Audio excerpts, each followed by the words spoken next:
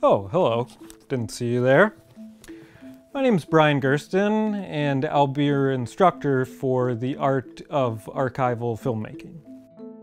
In this five-day workshop, students will familiarize themselves with various digital archives and ultimately learn the strategies and techniques for organizing, repurposing, and editing various forms of found media.